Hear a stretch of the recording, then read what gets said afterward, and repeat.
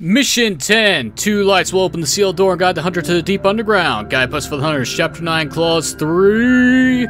Ladies and gentlemen, I'm NoGod21. Welcome back to Let's Play Devil May Cry. In the last episode, we were chasing after Arius to an oil field, but it caught on fire because he summoned a flaming minotaur.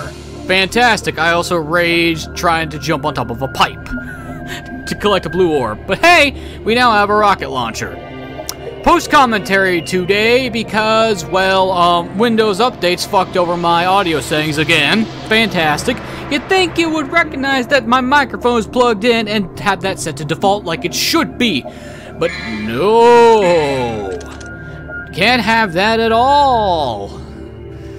Ugh. So we're doing post commentary today because I didn't feel like redoing an hour mainly because of my own ineptitude. So that's fun. As you can see, I'm busy trying to figure out if I should upgrade the rocket launcher or not, or maybe the Vendetta. I don't decide to do either of that. I decide to, you know, save up my orbs to upgrade Rebellion later on in the video.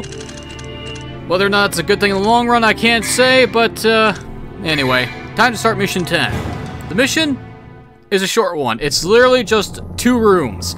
The starter room and the boss room. Fortunately for you, if you want to farm up a bunch of orbs, the starting room has infinite respawning wizards. So the main objective is to open up the gate in front of us.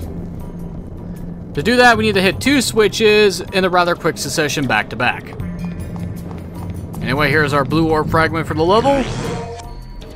And the secret mission is actually on the center with the flaming skulls. Touch the one on the right, and we go in. But I think for the uh, most part, I'm probably either gonna A, be silent for most of this episode, or do a lot of cutting out as I uh, edit things down. It's the next mission where I'm gonna be doing that a lot because of a certain area. But I'm just gonna be busy collecting around the orbs around the room and uh, basically fighting enemies, so enjoy!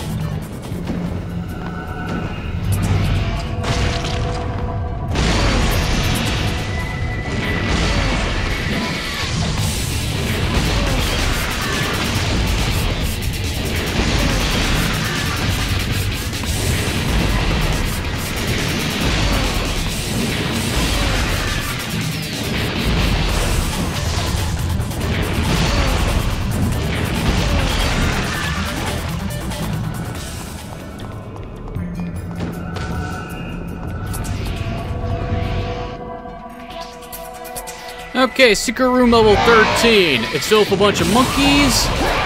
And I'm basically just figuring out how the rocket launcher compares as to uh, everything else in my arsenal. Because we only have one more sword and gun combination for weaponry, which we will get in the next mission.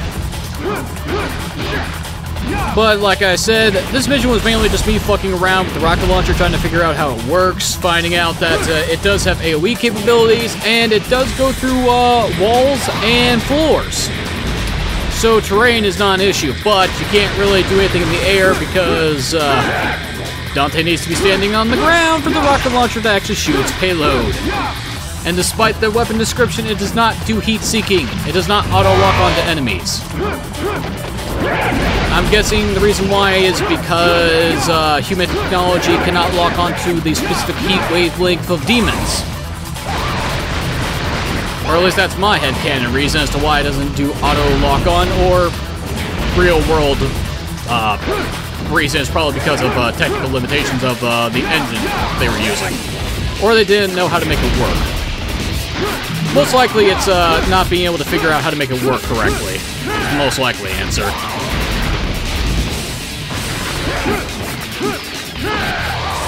Anyway, nothing but a bunch of monkeys to slice and dice and stab and, you know, shoot to oblivion. Real simple, easy mission. But hey, on the plus side, post-commentary means I can actually talk about things besides uh, what's going on on screen for once. Hmm. Hmm. But the thing is, what topic do I talk about? it's the real thing. But uh, that's the mission complete. Let's see, now that I've done the secret mission, I actually start to, you know, open the gate for the main part, for as the main objective to the mission. Huh. But, uh, yeah. Another secret mission in the bag. So far, we've done every single one.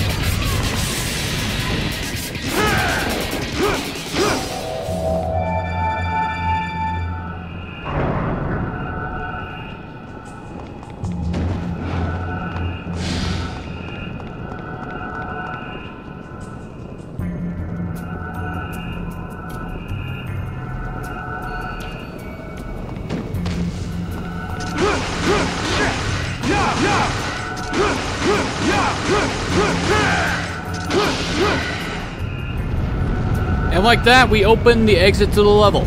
Now then, any pauses that you see me make, but before that, boss fight time.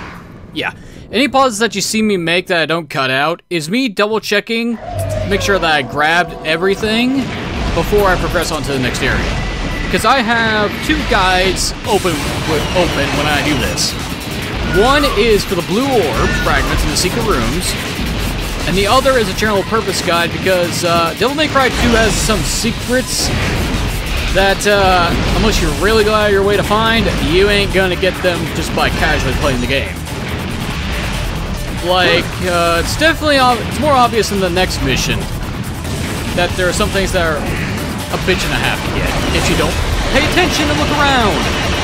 But anyway, this room's the boss room, but for the boss to show up, we need to kill all of the flying Cupid demons, as well as the golems. And the annoying thing about the golems is that they regenerate. Which is stupidly fucking asinine to deal with, but... You make do with what you got. What I got is a sword that can, likes to cut through demons like butter. And now for our boss fight.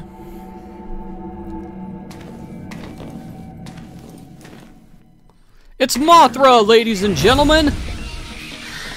A demonic Mothra, but Mothra nonetheless. Mothra here is actually real fucking easy. She only does two things. Fly and lay eggs. And her real name is Nocturpateran. Like I said, she flies and spits out larvae. The larvae are the tremor-looking motherfuckers trying to eat you. The main gimmick of this fight is dealing enough damage to her while also dealing with her children. Fortunately, her children are really easy to deal with with a couple of rockets into their fat fucking mouths. Honestly, the only reason you would ever get hit by the larva is if you're either A, not paying attention, or B, mistime the dodge input because of uh, your inexperience with the dodging mechanics. And I say inexperience because, well, I'm rusty, that's why. So getting hit one or two times isn't the end of the world, because there are health orbs around the arena, as you can see. I will say this, though. Devil May Cry 2, while easy-ish, keyword ish, because uh, this game will kill you on normal mode if you let it. Actually, now I think about it, I think difficulty for Devil May Cry 1 and 2 is really uh, blown out of proportion by people. Because Devil May Cry 1 is only really hard at the start, but once you get past the first boss fight with Phantom, the game actually gets rather easy until you off, face off against Vergil for the last time. But that was just my experience. Of course, uh, if you're playing higher difficulties, then more power to you. I will defer to your judgment on the difficulty. Oh, and by the way, you get uh, eaten, you turn into Devil Trigger when they explode. Key advice, don't get eaten. So, yeah. While Devil May Cry... What was I saying? Oh, yeah. While Devil May Cry 2 is easy... Keyword easy. I'm at least thankful that, that the boss rooms actually have health or pickups, just so in case you do get hit and you actually need it. Now, funnily enough, the Mothra's going to go down before we kill all of her children, which is hilarious. Because when she uh, takes the final hit, she loses her wings, gets down on the ground, and I think she plants more children.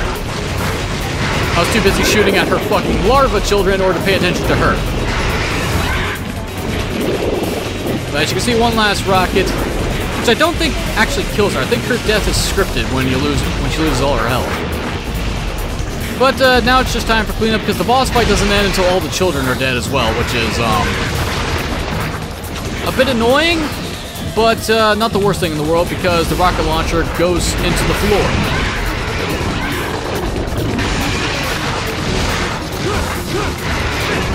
Also, nothing a few bursts of Devil Trigger can't fix. Funnily enough, once the last tier, they speed up in their attacks.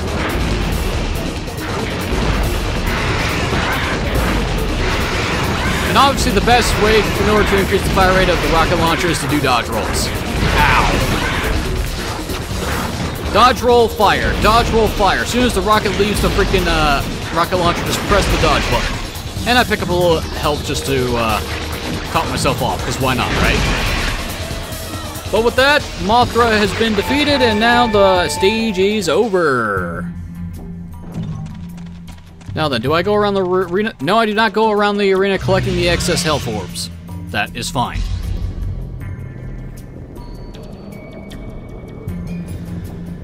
But yeah, mission complete. Rather easy. And of course my score is uh, CSSDS. It's a B as always. Fantastic. Alright then, next mission. Mission 11. He wields a spear and is obeyed by the wolves. His single eye possesses knowledge and hate. He's the one who brings misfortune. Guy Guidepost for Thunder, Chapter 9, Clause 6. Time to face off against Bolverk. and in this mission, I decide to upgrade Rebellion to level 4 after I think about it for a second. It's like, do I want to upgrade the rocket launcher? Maybe upgrade Ebony and Ivory? No, upgrade Rebellion. Get that to level 4. I think the maximum level a weapon can have in this game is 5. I think. It's gonna cost me 40 grand to find out. But we're gonna get our last mi yeah, our last weapons and another Devil Heart in this mission. The Devil Heart is a pain in the ass to get because of the puzzle required, and the weapons are missable. Fortunately, missing the weapons isn't as bad as you think because you can get those in later missions. And here's this first secret. It's a rather obvious one, I would say. Secret room level 14. It's like, hey, here's a uh, door with an eyeball on it. It's like, hmm, does this do anything?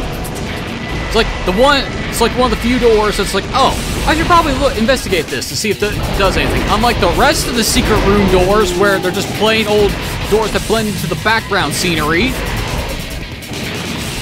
I really wish they uh, had them like they do in Devil May Cry 4, where there's uh, little uh, symbol indicators to tell me it's like, oh, this is a secret mission location. Nope. Nope, just plain old background scenery that you have to know about either beforehand or look up during. Anyway, this secret mission is just me fighting a bunch of goats. Funnily enough, rocket launcher, very effective against goat people. Goat. Goat men. Goat demons? Goatlings. Easy mission, easy money, and easy orbs. There's my fragment, and here is another blue orb to collection. Getting close to halfway through our second HP bar.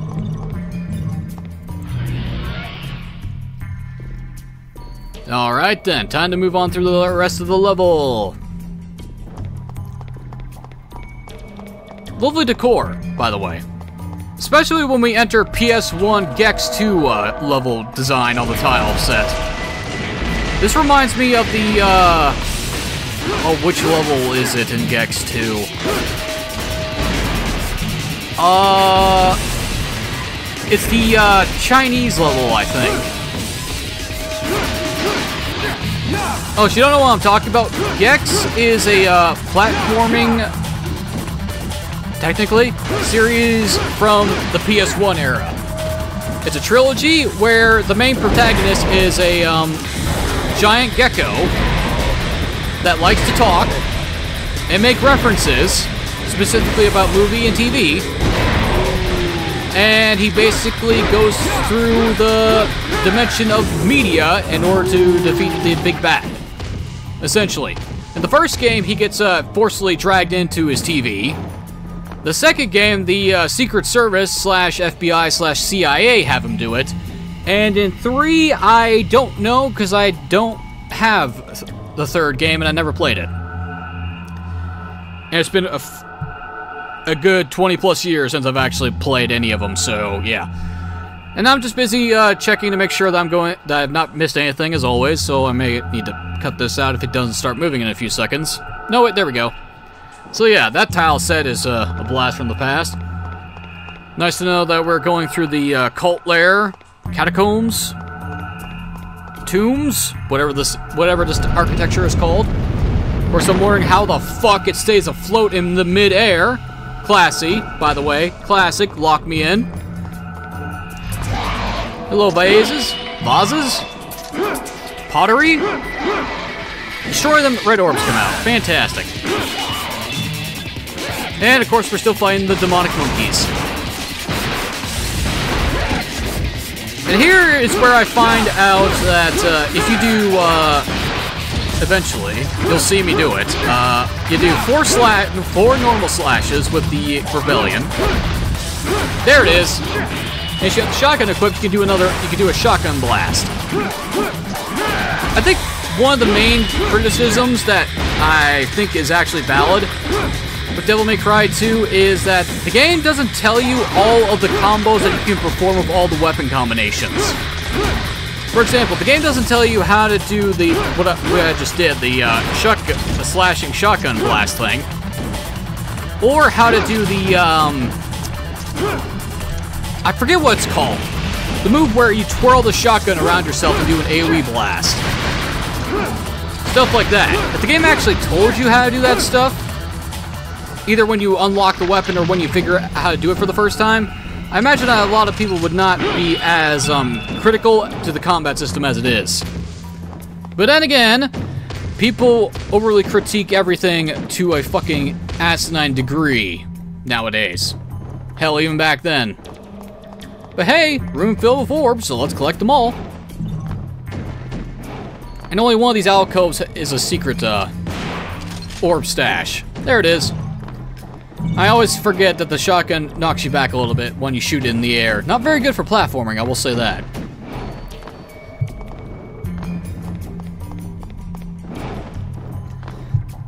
Doing a quick uh, sweep around the room to make sure I don't miss anything before we activate the key.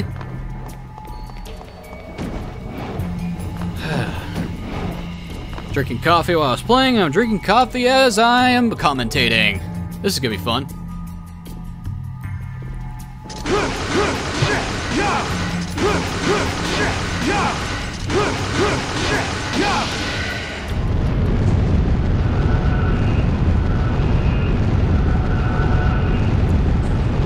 Spin, spin, and turn, baby, as the room onward is open.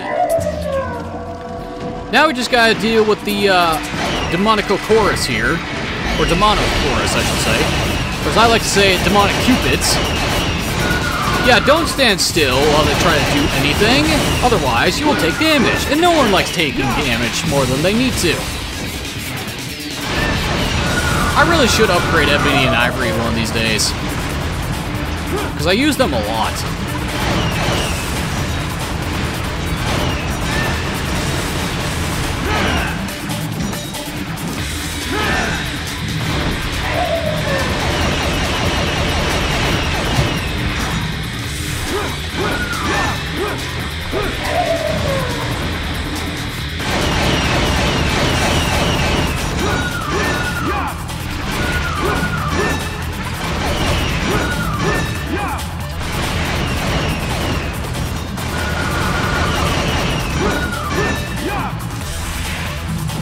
And like they say, that is that, ladies and gentlemen.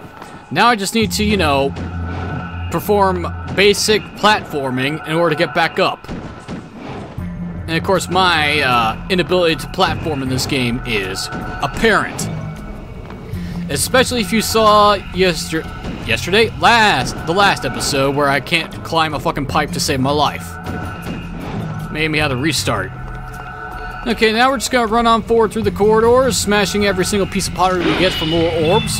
There was a health pickup in there. And hello! Orb uh, statue. Of course, doesn't help that we missed the swings.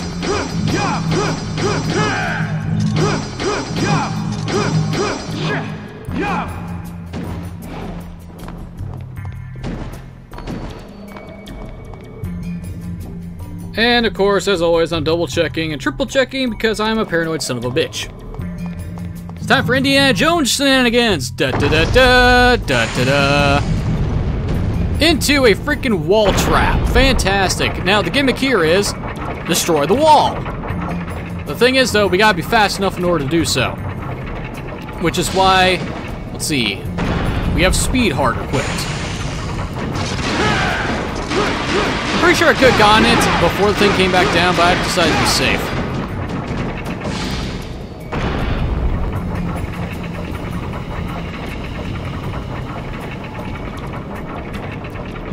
Of course, I don't know why. Oh, yeah. The bright idea was like, hey, can I use my rocket launcher to hit it from here? The survey says no.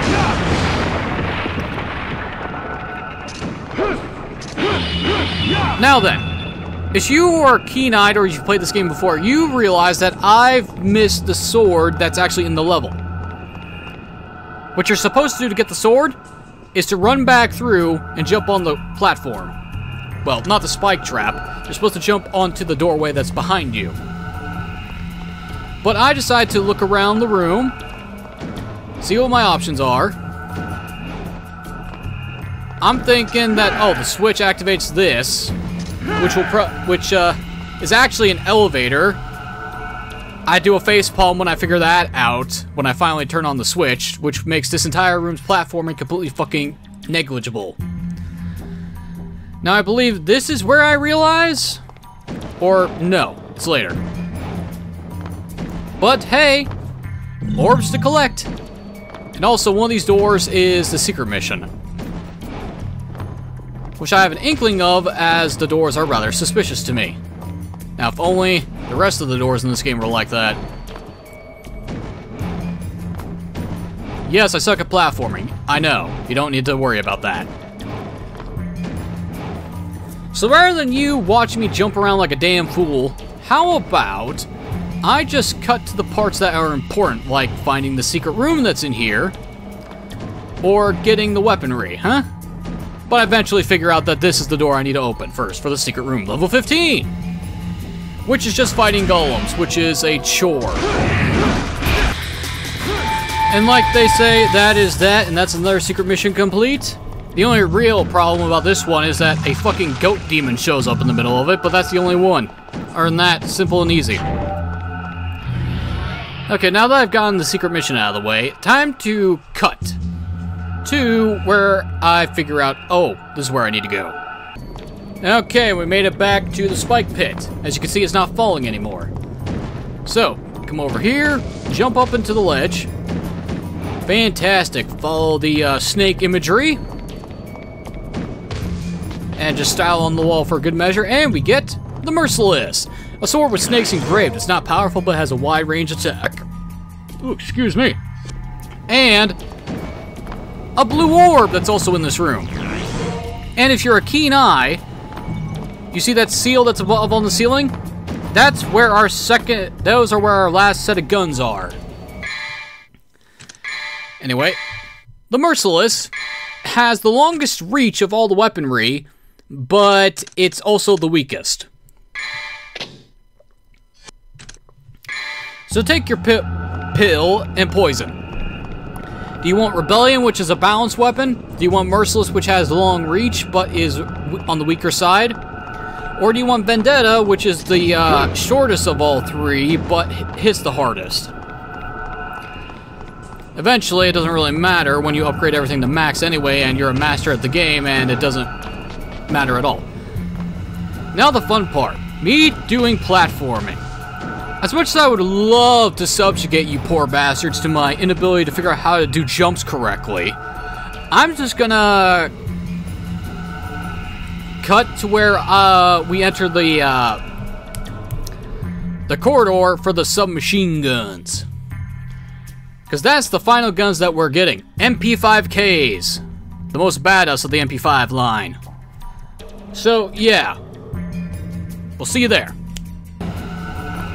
And here is the location, ladies and gentlemen. The aerial heart makes this area uh, breeze to go through so long as you have the Devil Trigger gauge.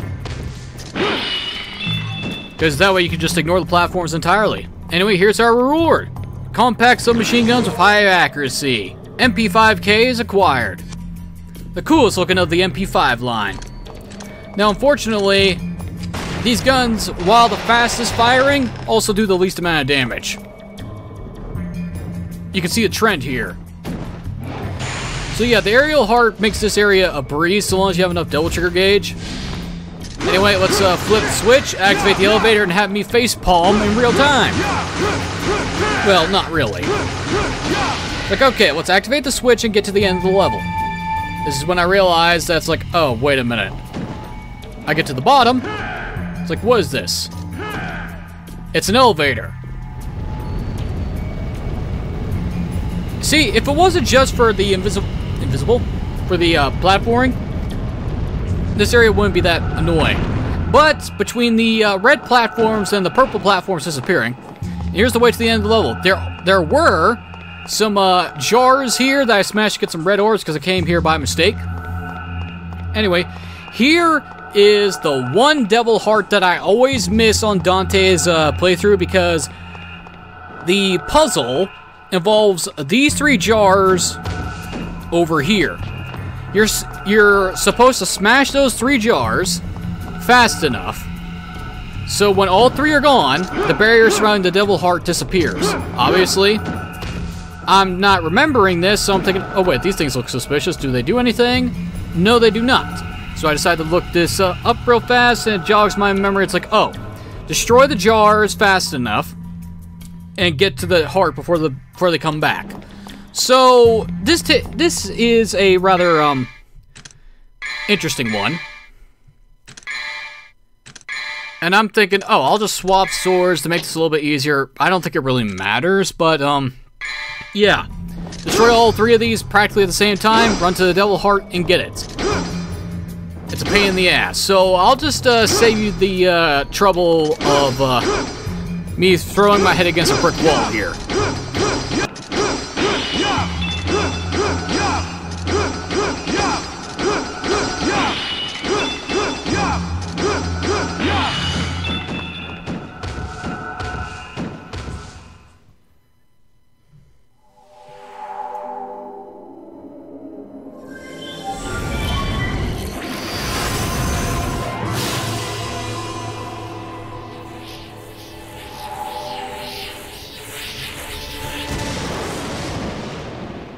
And with that, the healing heart is required. A magic stone with the heart of a merciful goddess. Fantastic. The one devil heart that I never get is now mine. Fantastic. What this one does is that it allows us to recover health faster while in Devil Trigger. So pick your poison. Do you want more attack potency or do you want extra healing? And for here, I decided to swap it up for Bolverk by going with Quick Heart, Flame Heart, and do I stick with the healing? Or, yeah, I swap back to off offense. Now, funnily enough, Bolverk is actually a quick boss fight, because it's just him and his two wolf... fuck, fuck, yeah, fuck, shit, I can't speak now. It's just Bolverk and his two wolves.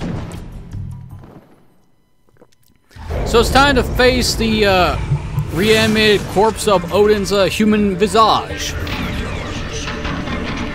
And sadly for Bolverk, he's actually a real easy fight. Just destroy the wolf, just kill the wolves first, and he can actually, he's actually real easy to deal with. Because Bolverk's main gimmick is to uh, basically keep you out of the air while the wolves are out. And his melee attacks are actually real easy to dodge anyway, so rather than me just commentating over the fight, I'll just let you watch since it's less than five minutes.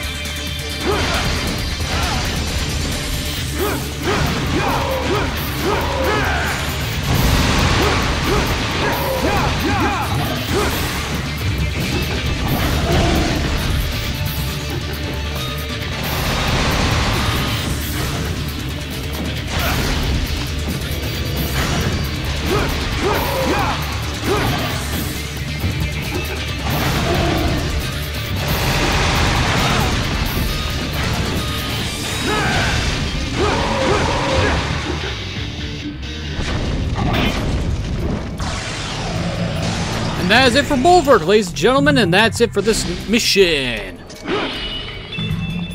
If it wasn't for my absurd platforming, uh, this is, mission's actually kind of short.